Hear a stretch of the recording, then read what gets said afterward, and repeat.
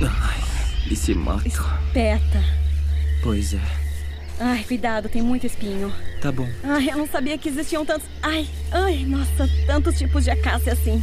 Eu li que existe, tipo, mais de 100 espécies de espinhos aqui. Ai, meu e... Deus, jura? eu não sabia. E nem Tipo- queria saber disso. A Marissa é ótima e super de boa. A gente se deu muito bem e eu tô ficando muito animado com isso. Olha, tem um rebanho por ali. Tá vendo? Todo o movimento Olha, ali nas árvores. Pertinho, que loucura. Fica bem atenta porque a gente tá num lugar aberto. É, tudo pode ver a gente aqui. Esse parece um bom lugar pra leões ficarem. É, tem muito lugar pra se esconder aqui. E não tem muita cobras. visibilidade. É, Tipo- então vamos fazer silêncio, é melhor. E ficar de olhos bem abertos. Tem muito bicho pastando por aqui. Ah, uau! Tá tudo inundado aqui. Tem um buraco bem grande aqui. É rastro de hipopótamo. Eles são bem imprevisíveis e podem atacar. A boca deles tem uma abertura enorme. Hipopótamos conseguem abrir a boca 180 graus por causa da localização das juntas da mandíbula. Eles têm muita força na mandíbula, então eu respeito demais. Eu não quero invadir o espaço deles. É bem fundo, então a gente vai Tá bom. atravessar bem rápido. É.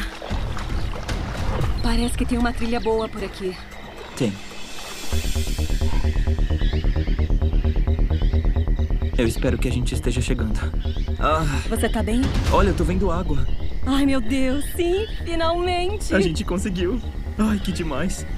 Um corpo d'água bem grande. É. Que bom. Olha os hipopótamos. Tem um monte deles. Ai, meu Deus! Tem um, dois, três, quatro, cinco, seis, sete, oito, nove Aham. e uma doca? Tem uma doca? Caraca, que? Como assim? Que loucura. Eu quero ir lá dar uma olhada. É um abrigo já pronto. E deve estar numa boa localização, já que alguém construiu ali, né? Eu É meio acho. assustador. Conseguiu? Sim. Que Há demais. quanto tempo você acha que ela foi abandonada? Há uns 30, 40 anos. Talvez.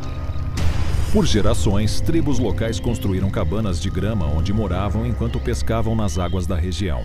Uma seca devastadora há muitos anos fez com que fossem embora.